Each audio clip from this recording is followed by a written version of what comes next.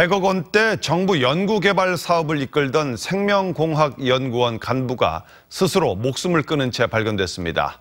연구비 관련 의혹을 제기하는 투서가 잇따라 제기됐다가 사실 무근으로 밝혀졌지만 상처 입은 자존심이 극단적 선택을 불렀다는 추측이 나오고 있습니다. 최유진 기자입니다.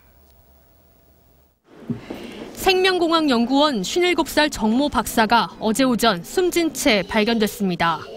대전 자신의 오피스텔에서 목을 맨 상태로 현장에서 자필 유서도 확인됐습니다.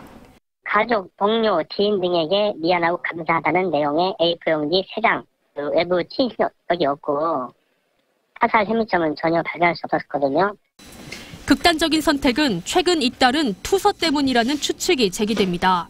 정 박사는 2013년부터 정부 주도의 연구사업단장을 맡아 감염병 실시간 분석 기술을 개발했습니다.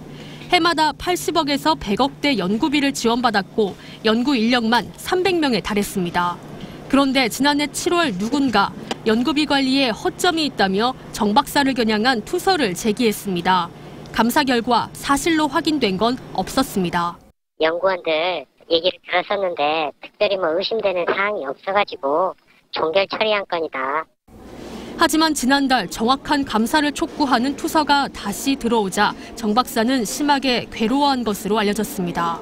왜 그때 그렇게 하는 조치가 없냐 또 투서를 한 건가요 이런 그냥 상황조차도 굉장히 본인한테 자존심에 문제가 있었던 거죠 수련연 10대 연구 성과에 선정되고 대전시 과학기술상을 받는 등 나노바이오 분야 대표 과학자의 죽음이 의문과 안타까움을 남깁니다. TJB 최효진입니다.